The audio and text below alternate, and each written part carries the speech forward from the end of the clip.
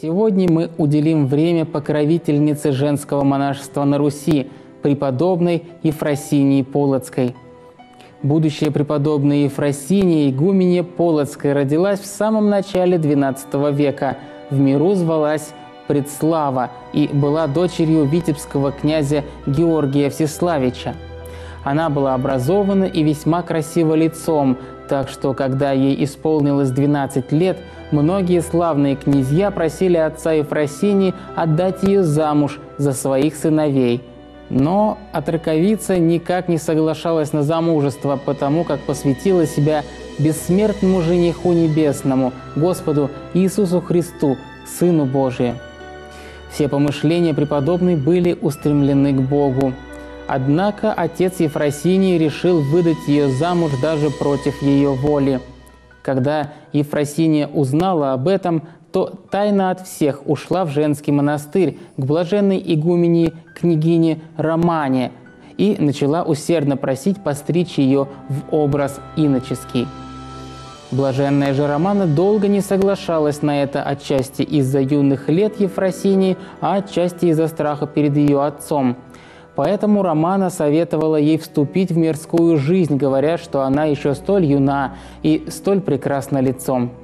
Но, испытав девицу и убедившись, что Ефросиния имеет твердое намерение постричься для сохранения девства и приобретения Царства Небесного, а также, что Ефросиния питает великую сердечную любовь к Господу Иисусу Христу, Романа приказала бывшему в ее обители священнику постричь Предиславу и облечь ее в ангельский образ.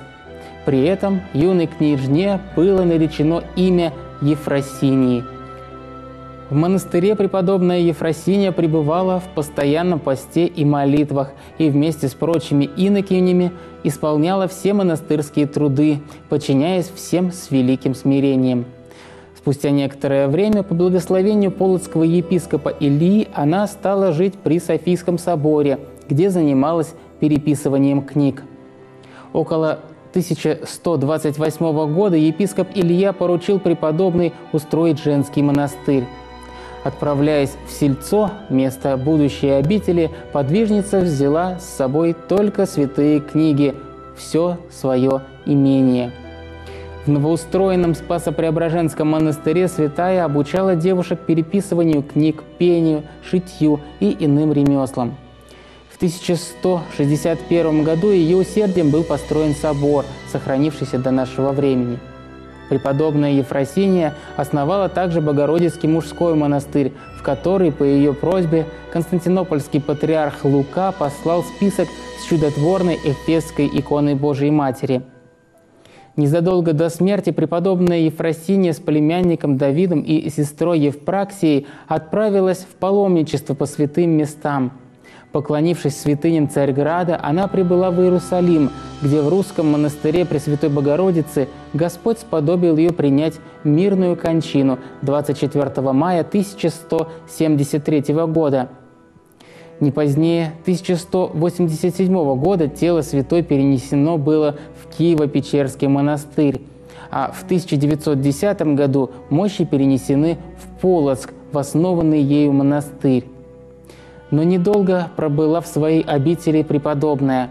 Согласно постановлению Народного комиссариата юстиции РСФСР 13 мая 1922 года рака с мощами преподобной Ефросинии была вскрыта – в заключении врачебно-научной экспертизы указывалось, что труп мумифицировался вследствие благоприятных почвенных условий.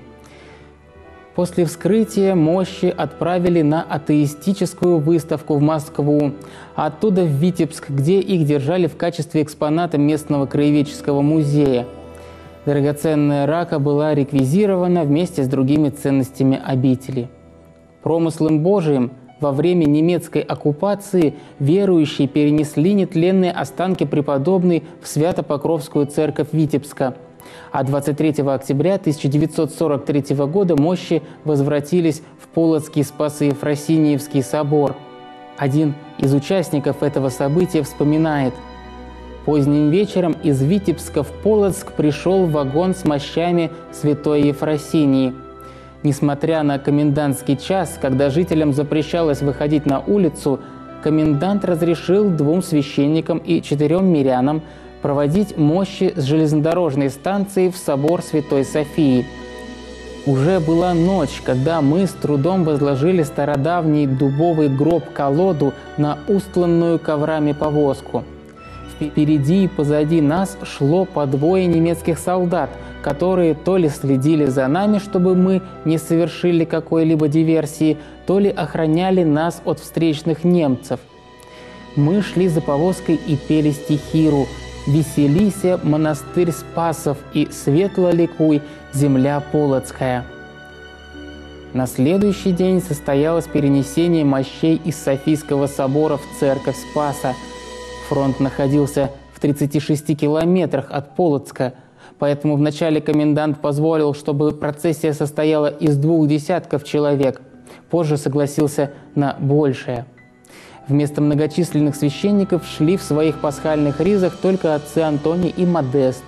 Небольшой девичий хор Софийского собора пел «Днесь светло красуется дивный град Полоцк». И это, надо еще раз отметить, происходило в оккупированном немцами городе – 25 октября 1943 года впервые после 25-летнего перерыва у мощей преподобной в основанном ею монастыре была отслужена божественная литургия. Но еще не скоро был возобновлен монастырь. Лишь в 1992 году выселили последних жителей из братских корпусов.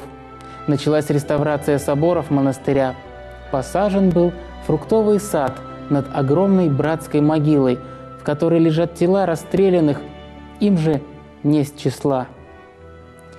Преподобная Мати Ефросиния, моли Бога о нас –